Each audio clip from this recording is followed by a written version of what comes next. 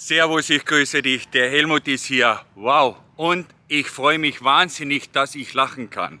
Ich freue mich auch, dass du mit dabei bist, aber ich freue mich wirklich wahnsinnig, dass ich jetzt lachen kann. Es ist, glaube ich, echt so ein guter Trigger, könnte man sagen, dass wenn ich die Kamera einschalte, dass ich da irgendwie das, wie beim Pavlovschen Hund wahrscheinlich so ein bisschen äh, die klassische Konditionierung, dass ich da in eine gut fühl Situation komme. Denn also herzlich willkommen zu unserem Walk and Talk am Sonntag und heute, ja heute ist wirklich etwas ganz, ganz, ganz Besonderes und zwar irgendwie bin ich so, ja heute erlebst du mich de facto in, ja, in einer depressiven Stimmung beziehungsweise so einer Art, aber das gehört ja so zu, zu Depressionen dazu, dass man so Panikattacken in der Art hat. Nicht, ja, ich weiß nicht, wie ich es beschreiben soll, aber ich würde echt so, ja, Panik. Panikattacke ist eigentlich eh gut. Ich habe vorher das auch nie gewusst, wie ich so Sachen beschreiben sollte. Panikattacken, das kam mir seinerzeit so vor, als ob ich irgendwo in einem Zug sitzen würde und irgendwo auf dem Felsen drauf zufahren würde und wüsste ja, der Zug hat keine Bremsen, so in der Art. Und ich glaube, das ist schon ziemlich so eine Panikattacke und so ähnlich geht es mir heute. Und da habe ich ja schon Videos gemacht, so ein bisschen, wie man aus den Depressionen herauskommt. Aber ich habe mir gedacht, es ist vielleicht trotzdem echt gut jetzt an, einmal, dass ich darüber rede, weil man echt in letzter Zeit, also herzlichen Dank überhaupt, herzlichen Dank, pass auf, herzlichen Dank persönlich an den Urs, den habe ich letzte Woche vergessen. Urs, herzlichen Dank, wirklich kriegt er ein Single-Dankeschön. Einmal, freut mich sehr, Urs. Und äh, herzlichen Dank auch an alle Zuseher, an alle. Es freut mich eigentlich wirklich, es freut mich wirklich sehr. Und ich habe in letzter Zeit relativ oder sehr ja, umfangreiche positive Kritik zu meinen Videos bekommen, beziehungsweise auch Leute, die mir schreiben und erzählen, wie es ihnen geht. Ist Gott sei Dank eben nicht so überwältigend viel, dass ich echt wirklich sagen kann, ich glaube, ich habe da alles gelesen. Und äh, dass Leute, und deswegen weiß ich ja, dass so einige Leute wirklich auch mit sehr, sehr ähnlichen Problemen kämpfen wie ich. Und deswegen finde ich es gut, wenn ich es jetzt einmal so wirklich beschreibe, wie es so ist, weil es ist immer leicht zu sagen, wenn man depressiv, ja, so kommt man raus und das ist super. Und ich weiß aber dann, dass wenn man in einer depressiven Stimmung ist, mit dem man mit dem nichts anfangen kann, weil alles ist so leicht, nur ich schaff's nicht und das bringt einen eigentlich viel, viel in eine tiefere, ja, tiefere Depression eigentlich noch.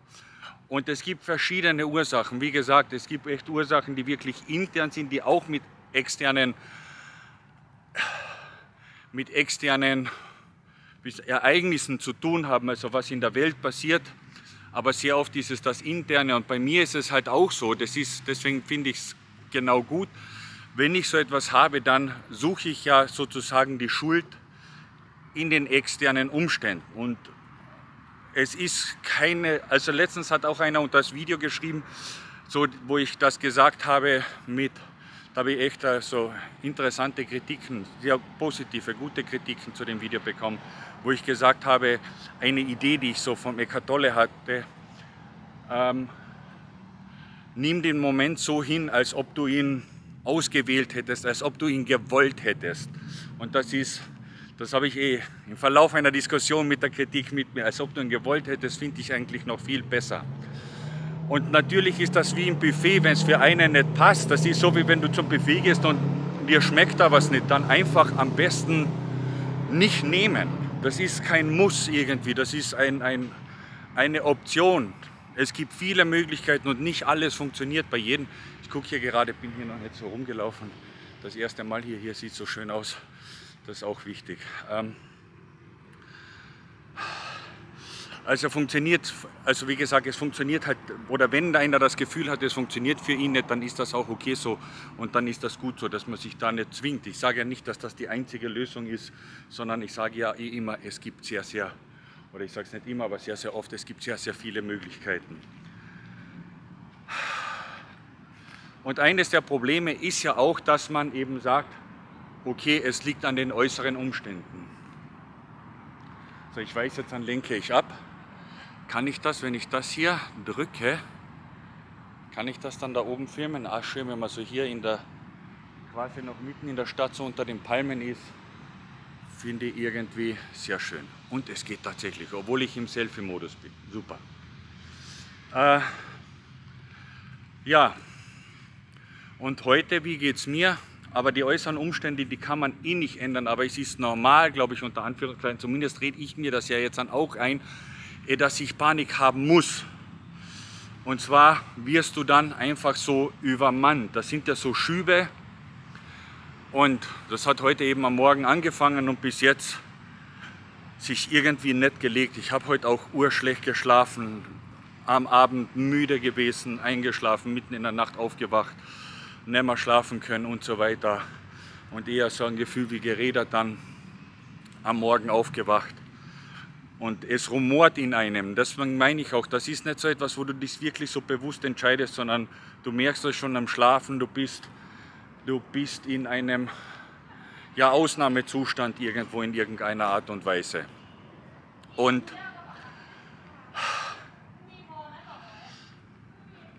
Das hat wahrscheinlich gestern Abend schon angefangen, alles mit diesen, ja, eben, dass man vielleicht in dem Sinn, bei mir ist es so, dass ich halt kein Vertrauen mehr habe zu all dem, was so vorgeht auf der Welt. Und das ist ja auch unter Anführungszeichen normal, weil jeder hat ja irgendwie Stabilität, dass man irgendwie auf den anderen vertrauen kann.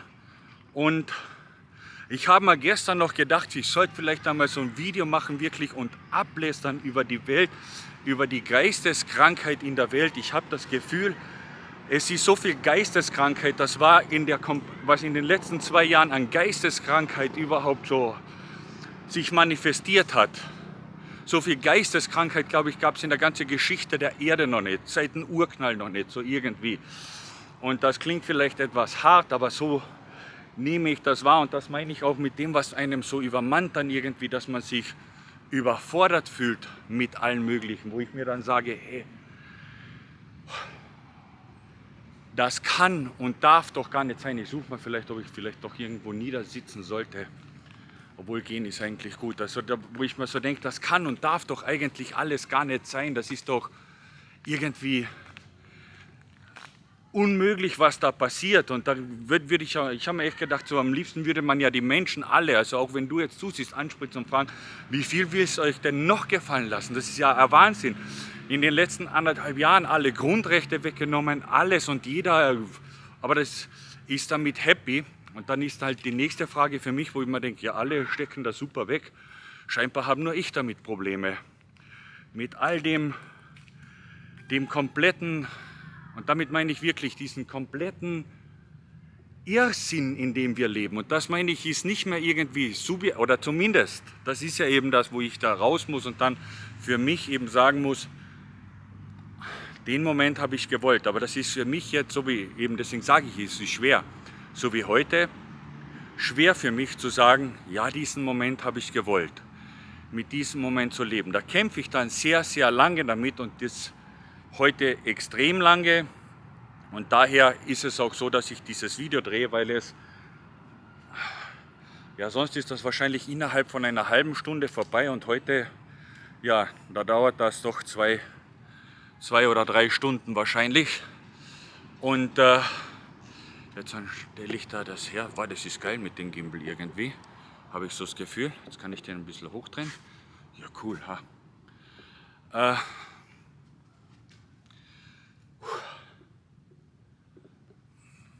Ja, du merkst, ich bin da wirklich emotional so ein bisschen ausgezogen irgendwie durch diese, durch diese ganze Situation, weil mir einfach so einfällt, wo ich mich frage, äh, ist noch irgendwas normal? Was war das Streben? Weil sich irgendwie hast du im Gefühl, vor, vor, vor 20 Jahren war die Leute haben gestrebt nach irgendeiner Stabilität, nach einer Arbeit, nach einem Einkommen, dass das irgendwie stabil ist, die Währung stabil ist, dass man weiß, okay, man kann irgendwo bis in ein Alter leben, so in der Art. Und heute habe ich so das Gefühl, es ist ja alles irgendwie, alles irgendwie weggenommen, wo ich mir denke, das gibt's gar nicht. Es kommt eine Blödheit nach der anderen irgendwie. Jetzt geht es mir eh schon nicht gut, aber dann kriegst du das, obwohl ich mich nicht für Medien, und ich sage es bewusst dazu, ja nicht interessiert, du kriegst das echt eine, eine Blödheit nach der anderen, mit, ob das, keine Ahnung, das Gendern ist hier, äh, BürgerInnen und so, wo ich mir einfach denke, ja, wie viel wollt ihr euch denn alle noch gefallen lassen? Das ist alles natürlich gewachsen. Seit, ich glaube, tausend Jahren gibt es das Neuhochdeutsche. Das ist nicht aufgrund von, von Antifeminismus gewachsen, so ist einfach Sprache ganz normal verwendet worden. Und auch dieser ganze Feminismus und all die Sachen, wo ich mir denke, wie viel wollen die Leute sich echt noch irgendwie gefallen lassen, wo vorgeschrieben wird, diktiert wird, was wie genannt wird und echt so Blödheiten wie Zigeunerschnitzel, es ist mir jetzt echt egal, wie blöd das jetzt dann klingt, aber das ist ja einfach die Un und das meine ich mit der Geisteskrankheit. Es gibt keine Zigeuner mehr. Also wenn es eh keine gibt, wenn es eh nur noch Roma und Sinti gibt, dann ist es ja auch keine Beleidigung mehr, wenn du Schnitzel Zigeunerschnitzel nennst. Weil Zigeuner gibt es ja nicht mehr. Also verstehst du, wo ich mir denke, so, es ist krank. Es ist nicht gefühlt krank, es ist ja wirklich krank. Und das glaube ich, ja, das ist halt das eben, wo ich mich übermannt fühle mit dem und auch mit den ganzen, wenn du halt irgendwo guckst, du siehst halt, es ist keine Stabilität mehr. Das ist halt mein, meine, wo ich mir, und ich frage mich, ist das meine Ausrede, wo ich sage, warum ich Schwierigkeiten habe, an die Welt zu glauben, weil halt nichts mehr irgendwie fix ist. Es ist so, es, verstehst du, es ändern sich diese Grundrechte, zack, Versammlungsfreiheit, alles Mögliche, es ist alles rapp, zapp, weg.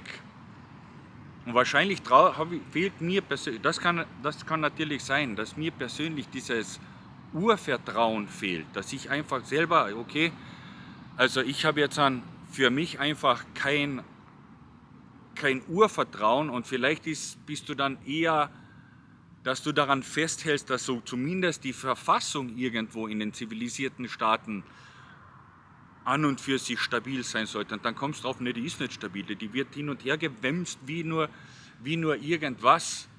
Und auch all diese, ja eben, so, so Sachen mit, wie, wie Geistes, und vor allem wenn du merkst, so wie ich, ah, diese Geisteskrankheiten, es ist alles eine Ausrede mit diesen Gendern und, und, und du denkst drüber nach und dann sage ich, ich bin jetzt eine Frau. Leute sagen, die werden nicht als geisteskrank eingestuft. Leute, die sagen, ich bin im falschen Körper geboren. Ja klar ist das geisteskrank. Also jetzt muss ich echt sagen, vielleicht sollte ich das Persiflage titulieren. Da müsstest du echt wirklich sagen, du bist ja in einer Bande von Geisteskranken lebst. Ich bin im falschen Körper geboren. Ich bin im Körper eines Mannes geboren, aber ich bin eigentlich eine Frau. Umgekehrt gibt es da viel weniger. Und ich bin eigentlich eine Frau, aber Frauen haben ja weniger Rechte. Es ist alles Geiste. Wenn du das irgendwie einmal echt runterbrichst auf logische Argumente, es ist das Krankeste, wie ich dir echt sage. So der Nächste kommt daher und sagt, ich bin im falschen und ich habe eher das Gefühl, es, und deswegen, ja, es ist auch Persiflage, das Video. Nimm's als Persiflage, nimm's nicht ernst. Ich habe eher das Gefühl, die Leute sind tatsächlich im falschen Körper geboren. Ich sehe echt Hunde- und Schweinegehirne, gefangen im menschlichen Körper. Das ist so mein Gefühl. Wenn ich so rum diese Sachen sehe, dann denke ich mal, ja, das sind echt Menschen im falschen Körper geboren. Da ist eine Hunde-Ideologie, eine Affen-Ideologie, eine Affenintelligenz rennt da im menschlichen Körper irgendwo rum. Nicht ein Mann im Frau. Das ist noch das wenigere Problem. Das natürlich jetzt einmal so als Comedy-Persiflage gemeint. Und jetzt kommen wir wieder ganz ernsthaft zurück zu meinem Thema. Aber irgendwie tut, das auch, tut mir das gerade einmal gut, das echt so, so rauszuposaunen, obwohl das mir ja prinzipiell egal ist. Also ich muss ja echt sagen, also das auch ohne Comedy, es ist mir ja egal, ob jemand, wie jemand denkt oder mir, prinzipiell ist mir das echt egal. Aber es ist dieses Gefühl, dass, dass, dass ich attackiert werde, und, das genau so sehen muss. Und das ist eben diese Sache, wo ich mir denke, die, diese, diese Meinungsbildung, du musst diese Meinung haben. Und äh, das ist wahrscheinlich das, was mich so bedrückt, was mir dann ja Zukunftsängste, weil so naturgegeben ist das wahrscheinlich nicht. Und dann ist es trotzdem, trotzdem diese Kurve zu kriegen. Deswegen sage ich ja, es ist mit diesen, dass ich deprimiert bin, nicht nicht einfach so, aha, ja, das ist einfach. Jetzt habe ich dir erklärt, mit was ich eigentlich so kämpfe. Das nehme ich ja zu, zunächst einmal real wahr. Und es geht aber eben nicht darum, zu sagen, das ist anders, sondern eben das zu akzeptieren wie ein Regen, wie ein Hagel, wie irgendeine höhere Gewalt, weil du kannst sie ja eh nicht ändern. Und dann zu sagen, es ist gut so. Geil, dass es so ist.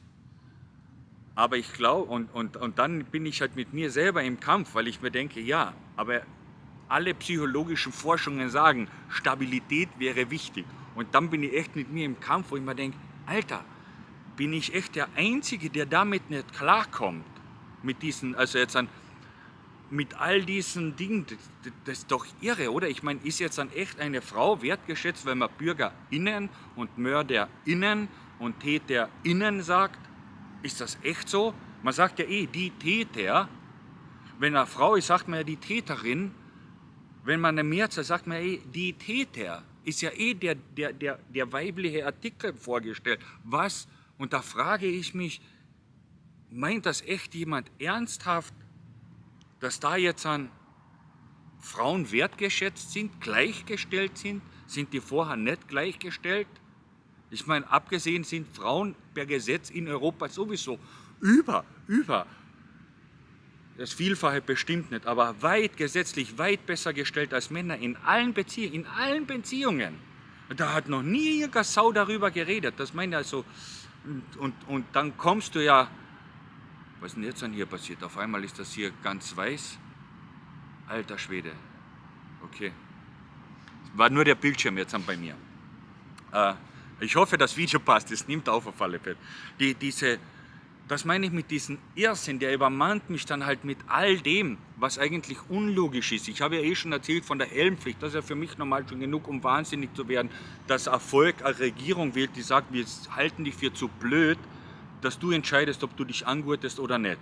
Das, das finde ich ja schon einmal den Wahnsinn. Damit komme ich ja schon, ich persönlich, fast nicht klar. Aber dann wählen die ja noch immer eine Regierung, Männer wählen eine Regierung und Männer haben ja das Gesetz gemacht, zum Beispiel, das gibt es, glaube ich, heute nicht mehr, aber früher gab es ja den Heiratsschwindler. Es gab nicht die Heiratsschwindlerin, nur den Heiratsschwindler.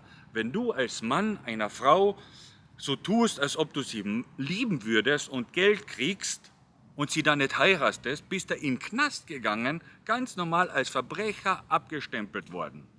Dann ist die Frau ein Opfer, der Mann ein Verbrecher, ein Drecksverbrecher. Unglaublich. So, und das zieht sich ja bis heute noch. Und deswegen meine ich ja, die Frauen sind immer über uns komplett. Wenn eine, verstehst du, wenn du das als Mann bei einer Frau machst, bist du ein Verbrecher, gehst in den Knast. Wenn eine Frau einen Mann Liebe vorspielt und ihn sagt, sie will ihn heiraten und ihn nur abzieht komplett finanziell, er ist danach ruiniert, dann ist er ein Idiot, ein Vollidiot, ein Liebeskasper und Penis gesteuert und weiß ich was. Ja, sag das mal, wenn eine Frau die von, da gibt es ja, ich habe irgendwann einmal vor anderthalb Jahren, glaube ich, per Zufall irgendein Aktenzeichen gesehen, ein neues. Und da ging es um irgendwelche Nigerianer, dunkelfarbige, das finde ich eh, da wissen die wahrscheinlich nicht, wie umgehen. Wer ist eigentlich, wer, wen muss man jetzt besser behandeln? Frauen oder eigentlich Männer, wenn sie schwarz sind? Weil Schwarze sind ja normal generell bevorzugt, aber Frauen, ah, da streiten sie sich wahrscheinlich. Aber egal, um was es geht ist, das sind Opfer, die werden abgezogen, die sehen den nicht, die sind echt, ich habe mir das gedacht, da wird gelacht in Thailand, die fahren doch hierher, die Leute, und lernen ja Mädel kennen und haben ja zumindest irgendeinen körperlichen Kontakt zu der. Da wird da der penisgesteuerte Vollidiot. Da kannst du aber, darfst du nicht sagen, hey, die F-gesteuerten, der F-gesteuerte Volltrampel, die Treppe, die sich da von irgendeinem maximal kolorierten abziehen lässt, und eigentlich, da, da, da, da guckst du eigentlich von 3000 Trilliarden Kilometer hin und sagst, wer auf das reinfällt, da kannst du nur sagen, selber schuld. Das machen aber, weil es Weiber sind, oh, sind Opfer. Die anderen sind Verbrecher. Verstehst du? Das meine ich so, dieser ganze Irrsinn, anstatt der irgendwie mal aufgearbeitet worden wäre von früher, dass man gesagt hätte, okay, das mit Heiratsspindler, hey, was wir da irgendwie für kranke Idee hatten, das muss ja für eine Frau, wenn Gleichberechtigung ist, auch so sein. Nee, das ist heute noch immer. Das ist der Liebeskasper, der Idiot, wenn ein Mann, die aber richtig fett abgezogen werden. Wenn ich das von, von dem nachdenke, was ich da gesehen habe auf Y, das sind Schriftverkehr, die sehen die noch nicht einmal und überweisen tausende Euros an ein Bild, mit dem die noch nicht einmal live telefoniert haben. Da denke ich mir, da kannst du nicht vom Opfer reden. Da musst du sagen, es ist ein Geisteskranker, passt, dass der kein Geld hat, ist eh wurscht, weil der gehört zu einer Frau, gehört, und da wenn es ein Mann ist, in meinen Augen, also ich bin ja Unisex, zu einer Person gehört der eh entmündigt. Die ist ja irre, die weiß ja nicht, was die tut. Aber das war wirklich das Krasseste überhaupt.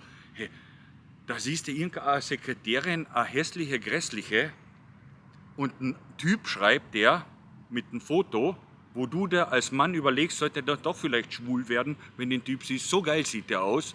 Und die denkt sich, ja logisch, der schreibt, ich liebe, der, da überweise ich dem die Kohle. Ich meine, das wäre wie, wenn mir, mir, und ich bin noch ein geil, echt ein geiler Typ, nicht eine Sekretärin, die in ihrem Leben einen Lebensverlauf hat, der flacher ist als ihre Brüste noch, der wirklich was, was erlebt hat im Leben. Aber wenn mir die, die, die Heidi Klum schreibt, hey super und Helmut A und toll, hey, ich will dich unbedingt kennenlernen, ich will dich heiraten. Nur das Bild von der Heidi Klum, dann gehen davon nicht aus, dass das stimmt. Dann weiß sie, das ist ein Betrug. Und das weiß jeder, jeder Mensch eigentlich.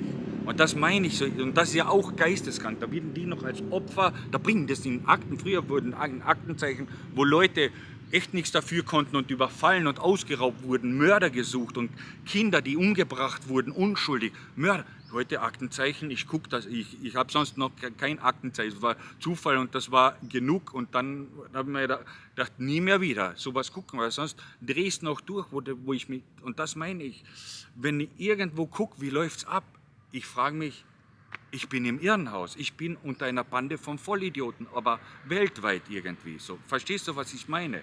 Es geht mir nicht um das irgendeine Frau und die sind eh über, überberechtigt. Die sind nicht unter, die sind weit überberechtigt. Und das, mit so etwas kämpfe ich dann, weil offiziell sollte ja ich als weißer Mann gelten, dass ich überprivilegiert bin. Und das ist ja auch die große Lüge irgendwie, mit denen ja irgendwie klarkommen muss, dass du als weißer Mann ja absolut unterprivilegiert bist. Du bist gesetzlich auf der kompletten Welt mittlerweile wahrscheinlich benachteiligt. Nicht auf der kompletten Welt, aber in Deutschland auf alle Fälle. Weil wenn du mit weißer Haut ein Kind von Zug stößt, gehst du in den Knast. Ich habe erlebt, dass das einer mit, mit dunkler Haut gemacht hat. Da hat sich Politik eingeschaltet und gesagt, wahrscheinlich war der traumatisiert. Wo du dich fragst, ja, was ist da los? Oder in Österreich haben sie überhaupt irgendeinen Typen ein Denkmal gebaut, wo du dich fragst, ja, sind die denn wahnsinnig, ein kriminellen Verbrecher, aber schwarze Haut, na, dann ist das ein Opfer. Da ist kein Verbrecher mehr. Beim Österreicher, den hätten sie erschlagen können, da hätten die Zeitungen geschrieben, endlich die Drecksau, Gott sei Dank. Die Polizei hätte ihn gleich erschlagen sollen. Aber hier jemand, der ein bisschen mehr koloriert ist, mit koloriertem Hintergrund, und das meine ich, du bist so im, im, im, im Irrsinn. Und ich bin genau das Gegenteil. Ich habe noch nicht einmal eine Idee, dass es eine Rasse gibt eigentlich. Nicht, nicht einmal die Idee. Also kann ich auch kein Ist sein von denen. Aber du merkst einfach, dass wenn du weiße Haut hast, irgendwie stark benachteiligt bist. Das wäre mal noch okay hier, das, das, das, weiß man hier, man ist das hier äh, in, in, verschiedenen Ländern sowieso, da sagst du, ja passt, die, die sind so, aber äh, in Europa eigentlich, und, das, und das beschäftigt mich halt, das macht mir halt so die Panik wahrscheinlich vor der Zukunft irgendwo. Und dann mich hinzusetzen und jetzt dann hast echt so alles, was ich, mit was ich mich so irgendwie in meinem Kopf irgendwie da drin rumrumort, und in all diesen Situationen bin ich ohnmächtig. Da bin ich echt ohnmächtig dem gegenüber und kriege dann die Panikattacke und denke mir, ja, ist das Leben überhaupt noch lebenswert? Ich habe echt keinen, keinen Plan mehr. Und mir dann zu sagen, das ist jetzt die Situation, genau die Situation, ich stelle mir vor, es wäre die Situation, die ich echt gewollt hätte. Dann denke ich im ersten Moment natürlich, ah, äh, nee, so eine Situation, die kann ja keiner wollen. Da müsste ich ja zu, genauso zur Bande der Geisteskranken gehören. Und dann überlege ich mir wieder, das wäre eher eine coole Sache. Es ist wirklich so oft. Ich denke mal, ich wäre so gerne ein Geisteskranker. Ich würde so gerne, natürlich ich habe ich generell ein Maskenproblem, aber dann drei, vier, fünf Masken drauf machen, mir 20 Impfungen reinjagen und zitternd rumrennen und sagen, hey Alter, wir sind in der gefährlichen, Alter, wir sind am Sterben in der Pandemie. Dann, ja, dann wäre ich auch nicht glücklich. Siehst du, merke ich jetzt gerade wieder, jetzt gerade, dann wäre ich auch nicht glücklich. Ah. So, jetzt habe ich eigentlich eh, was ich gesagt habe vorhin, de facto auch abgelästert. Ich habe jetzt tatsächlich, habe ich das Gefühl, abgelästert. Aber jetzt weißt du einmal, wie es ungefähr in mir ist, was mich so beschäftigt. Jeden beschäftigen ja andere Sachen, verstehst du? Es beschäftigt ja etwas anderes. So wie seinerzeit in Chiang Mai, da war halt natürlich das, dass ich da, äh, mich gefesselt gefühlt habe aufgrund von Kindheitserlebnissen, die noch immer wahrscheinlich viele nicht verarbeitet worden sind. Und, und der Unterschied war echt in Chiang Mai, dass ich mir dachte, ja, ich, ich, es ist eh schon passiert, es ist Teil meines Lebens, mein Schicksal annehmen. Und jetzt habe ich halt eher so diese Zukunftspanik, wo ich mir denke, ich komme auch vor wie in einer Zwangsweste gesteckt. Natürlich kann ich noch rumgehen und so weiter und so fort. Das ist es ja, aber ich bin wahrscheinlich auch irgendwie ein extremer Vorausdenker. Ja, extrem voraus. Also ich gehöre echt nicht, glaube ich, zu den Leuten, die sich die Bananenschale am Boden schmeißen und dann zum 50. Mal drauf ausrutschen und sich wundern, warum sie auf die Fresse fallen. Ich glaube, das habe ich nie so hingekriegt, aber das ist wahrscheinlich die Masse und ich weiß es nicht so genau.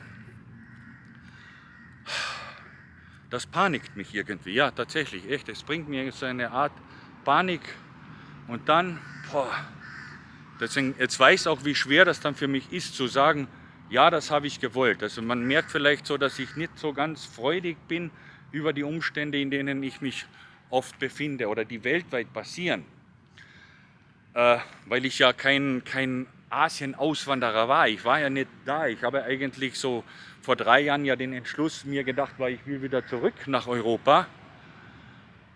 Und vielleicht trifft mich auch das, das deshalb schwer, schwer, viel, viel schwerer, während die in Europa ja, mir eh, merke ich ja in den Kommentaren, hey super, will auch nach Asien, während ich sage, ja, ich plane eigentlich nach Europa zu ziehen und habe da aber äh, einige Sachen zu lösen und mir denke, boah, da wird mir jedes Mal die neue Grundlage entzogen, wie, wie, wie ich mich da bewegen kann in Europa sozusagen. Das ist echt irgendwie, das ist echt, ich möchte jetzt nicht über mein Ding jetzt hier rumheulen, aber das ist halt das, wo ich mich mit beschäftige und mir dann eben schwer fällt zu sagen, das ist die Situation. Und deswegen habe ich ja letztens gesagt, das ist vielleicht nicht immer das Richtige, aber es, ja, ich, für mich ist es halt ein starkes, eine starke Waffe, will ich nicht sagen, aber es, ja, Waffe irgendwie wäre vielleicht so ein richtiger Terminus dazu, wo ich sage, ja, ich habe die Situation so gewollt. Also es geht mir ja jetzt, auch wo ihr eingeschaltet habt, habe ich mich echt gefreut, dass ich lachen habe können. Jetzt an, wesentlich besser, obwohl jetzt an, wahrscheinlich reden wir schon eine halbe Stunde, besser als noch vor drei Stunden, wo ich aufgewacht bin. Das ist gar keine Frage und das ist ja schon, schon eine gute Sache und ich bin da eben ja eh zu Hause im Zimmer gewesen und habe mir gedacht, das ist die Situation, die ich will. Und dann merke, boah, es ist so schwer dann. Zum Beispiel, eine Strategie von mir ist dann auch, ich weiß nicht, ob die gut ist oder schlecht. Früher habe ich mal den, den Kommissar angeguckt, vor keine Ahnung, einem halben Jahr jetzt an, dann hatte ich echt alle, alle angeguckt.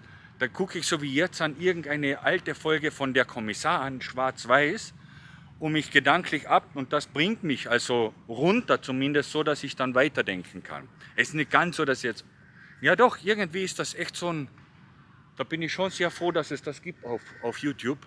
Da klicke ich das an, da sehe ich das, da rege ich mich nicht drüber auf. Ich weiß nicht, wie ich das sagen soll. Das, es ist irgendwie beruhigend für mich, irgendwie so. Keine Ahnung, wie ich das sagen soll. Da sehe ich die alten BMWs, die gefahren sind, finde die irgendwie so cool. Irgend, keine Ahnung, irgend, irgendwas hat das so. Und das ist wirklich so, dass ich echt so abends auch oft, um mich zu beruhigen, wenn ich im Bett liege, Dann schalte ich jetzt an den, habe ich eh schon wieder einige Folgen geguckt jetzt in letzter Zeit, schalte ich das ein, dann läuft das, dann kann ich da hingucken und ich habe ein paar sogar vergessen wieder, so wo ich mal dachte, hey, ich habe die schon gesehen, die Folge, ich weiß, aber ich weiß jetzt nicht mehr, wer der Mörder ist. Bei jeder Folge weiß man da auch nicht, wer der Mörder ist. Das finde ich irgendwie cool im Vergleich zu, im Vergleich, keine Ahnung, in Matula oder so ein Scheiß kannst du nicht gucken. Das gucke ich mal an und denke mal, das ist auch für eine Bande von Geisteskranken geschrieben. Äh, bei den kannst du wieder nicht gucken, weil der ist wieder so, da weißt schon, eine halbe Stunde vorher, der wird dann und dann niedergeschlagen von wem und du weißt eigentlich, wer ist eigentlich der Mörder oder um was es da immer geht bei denen. Das ist nicht so mein Ding, das ist so, ah, keine Ahnung. Der Kommissar ist irgendwie, das ist halt so mein Favorit, aber das ist auch ein persönliche, persönliches Ding an anderen. Anderer fühlt sich vielleicht beleidigt jetzt, wenn ich sage, ich mag ihn. Ich finde, dass der gedreht ist wie eine Bande von Geisteskranken, aber so kommt es mir eigentlich halt vor, wie einer, der nicht bis zwei zählen kann. So. So, frage mich, warum guckst du? Warum soll ich das gucken? Da weißt echt vorher, du weißt vorher, aha, der wird jetzt um die Ecke gehen, da wird er niedergeschlagen. Und du weißt, man, man weiß das einfach, immer, immer wieder. Und immer kommt der raus mit einer Bestechung, gibt jemandem die Kohle und der lügt ihn an. Das weiß man, das weiß man einfach so, wo man sich denkt, ja, ich weiß nicht, warum, da fehlt mir der Sinn, da fehlt mir die Story irgendwie, wenn ich den so gucke. Ja, Das war unser Sonntags Walk and Talk. Jetzt bin ich hier am See ein bisschen. Jetzt fühle ich mich direkt echt. Also, ui, da sieht man mich jetzt dann, glaube ich. Ja, das ist besser. Oder? Ja. ja, so ist cool. Jetzt fühle ich mich sogar echt besser. Vielleicht, weil es auch gut ist. Ich glaube, es ist auch gut, manchmal sich die Sache so von der Leber zu reden. Das kommt ja auch irgendwo her, der Ausdruck. Und jetzt fällt es mir auch leichter zu sagen, ja, es ist ein Moment, es ist noch immer nicht, dass ich sagen würde, den ich will, aber es ist so, wie es ist. Und es ist einfach so, wie es ist. Wenn es regnen wird, wird es regnen. Es ist so, wie es ist. Aber du bist halt im Leben irgendwie oft so konfrontiert, wo ich mir echt denke, so, und ich, das ist vielleicht auch wirklich das Problem eines Hypersensiblen, dass du diese Sachen halt feststellst, die die, die anderen so nicht sehen. Aber ja, ich habe echt jetzt an. Es ist schwierig. Es ist authentisch ist ja das missbrauchteste Wort, was mir so vorkommt, aber es ist wirklich ein echtes Video. Ich habe, so wie es mir heute echt gegangen ist, also es war nicht mehr so schlimm wie am Morgen. Wie gesagt, ich habe schon, was habe ich für Folge geguckt? Mit dem Schneider, Staffel 3, Folge 6 oder so, ging um irgendeinen Schneider, der ermordet wurde und ein Mädchen war irgendwie cool, wenn ich das so denke mal, das, was heute so in Thailand ist, die, die, die schreiben mir eigentlich so thailändische Stories von damals. Ne? Also jetzt ein, das nicht, die Sendung heute nicht, aber, aber weil, es oft geht, das war normal, da du in den, und ich nehme an, ich weiß ja nicht, ich habe ja nicht gelebt, da war ich noch gar nicht geboren, 1970, aber da geht, also der Herr Doktor, der, der, der Oberstudienrat, will die Schülerin heiraten und die Eltern sind einverstanden, obwohl der Doktor ja 40 ist und die Tochter erst 16. Aber weil die sagen, hey, der Herr Doktor, der hat Bildung, der hat Kohle. Und in Thailand wird das so verurteilt, aber es war eigentlich in Deutschland äh, oder Österreich äh, de facto ganz genauso wie, wie hier, dass die Leute in der, das war ja nicht lange nach dem Krieg, dass die viel noch wirklich auf Sicherheit ausfahren und sich gedacht haben, hey super, die Tochter ja logisch, was soll die mit einem anderen 16-jährigen Idioten der ihr nichts zu bieten hat, da ist doch besser der, der, der Herr Studienrat. Heute ist das ja, da würde der durch die Presse gejagt werden als wie der Staatsfeind Nummer eins, wenn heute ein, ein, ein Oberstudienrat mit seiner 16-jährigen Schülerin was anfangen würde. Und äh, ich kann das aber eher nachvollziehen, also das heute kann ich emotional nicht nachvollziehen. Von damals, das kann ich eher nachvollziehen und finde es jetzt auch nicht